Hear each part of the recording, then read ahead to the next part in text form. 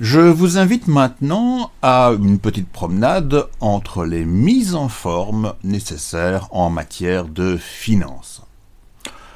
Tout d'abord, qu'entend-on par mise en forme? Eh bien, un exemple classique de mise en forme, c'est lorsque vous allez chez le coiffeur et vous changez de type de coiffure. Vous faites une coloration, vous changez de couleur de cheveux, vous faites des boucles alors que vous aviez des cheveux lisses. Eh bien, vous voilà avec une nouvelle présentation, une nouvelle mise en forme. Est-ce toujours vous sous cette nouvelle coiffure? Oui, c'est toujours vous, mais avec une présentation différente.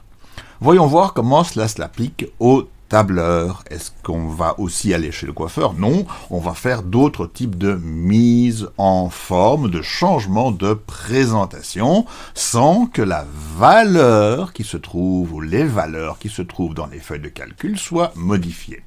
Voici un premier exemple à l'écran. Dans la première colonne, dans la cellule A1 et suivante, j'ai indiqué des valeurs 165, 150, 200, 125. Alors, les nombres importent peu ce que nous voyons, c'est que la valeur 165 se retrouve également dans la barre de formule ligne de saisie, 150, 200, il n'y a aucun mystère à tout cela. Dans la deuxième colonne, j'ai reporté exactement les mêmes valeurs, 165 et 165, comme en atteste d'ailleurs la ligne de saisie, 165. Pas de différence. Pourtant, ici, il s'agit de 165 euros. Là, de 150 dollars. Ici, de 200 livres. Là, de 125 yens. Il y a juste une différence, c'est la présentation. Les valeurs sont bien identiques. Comment obtenir cet effet de changement de présentation? Je vous le montre dans la cellule D3 par exemple, où j'indique une valeur, mettons euh, la valeur 200. Voilà, j'ai bien écrit 200, la ligne de saisie m'indique que c'est bien 200, il n'y a pas de souci, tout est parfait.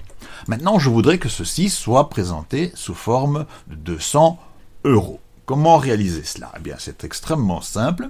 Il suffit de se rendre dans la barre d'outils supérieure et de choisir d'appliquer le format monétaire. Alors, des formats monétaires, il y en a beaucoup, y compris ceux que j'ai utilisés ici à gauche vous voyez qu'on a toute une série qui sont disponibles. Je ne vais pas tous les passer en revue, mais parmi les, les formats monétaires, les présentations monétaires disponibles, nous avons l'euro qui est le système par défaut.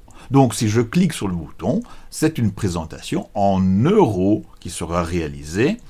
Euh, si je veux une autre présentation, il faudra alors que je la sélectionne parmi les autres présentations disponibles.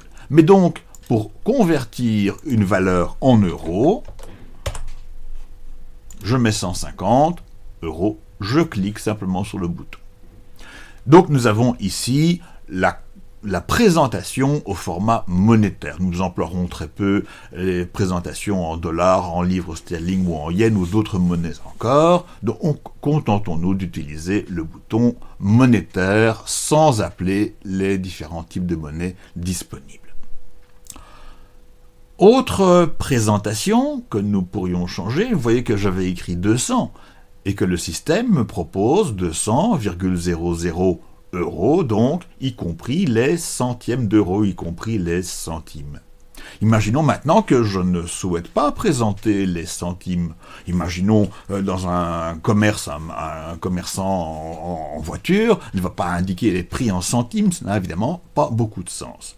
Comment faire pour réduire le nombre de décimales, pour enlever en fait même les décimales? Eh bien à nouveau, nous allons nous diriger vers la barre d'outils supérieure et demander soit d'ajouter, mais ce n'est pas ce que nous voulons faire ici, soit de supprimer une décimale.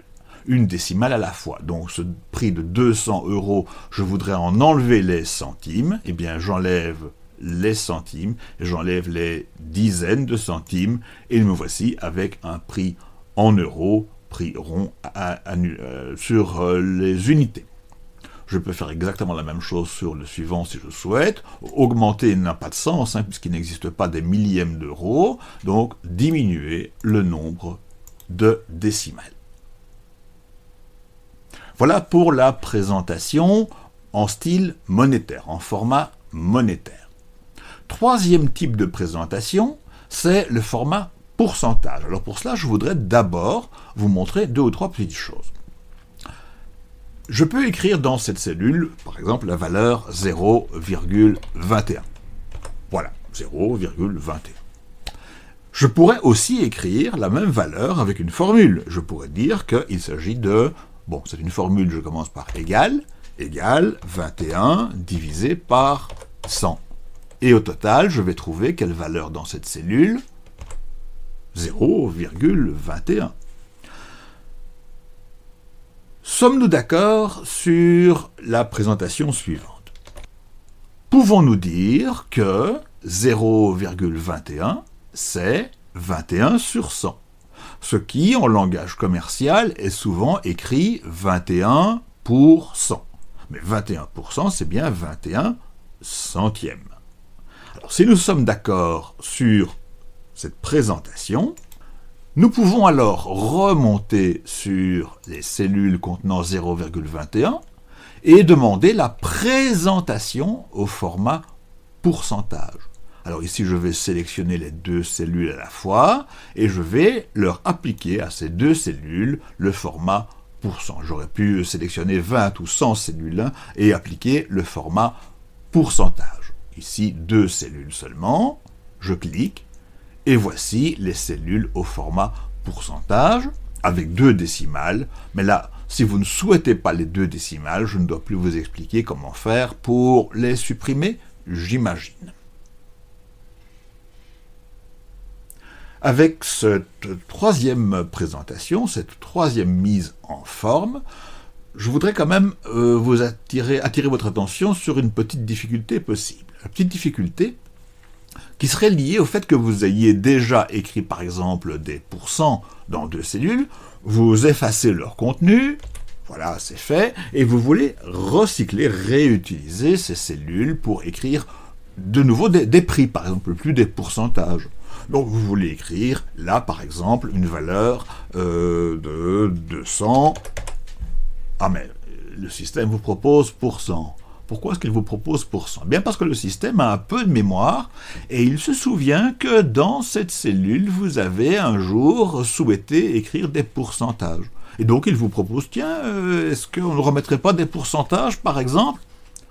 Et vous avez beau dire non, c'est bien 200 que je veux mettre, donc là j'ai effacé le symbole des pourcents, et le système insiste pour me dire que ce 200, en fait, c'est 20 000